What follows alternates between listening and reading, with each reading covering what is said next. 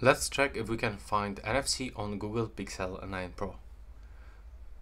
So we have to go to the settings and in the search we just have to input this phrase NFC or near field communication and as you can see yeah the NFC is just right here.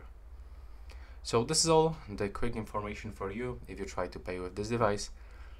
Thanks for watching and right now please subscribe for more tutorials about the Google Pixel 9 Pro.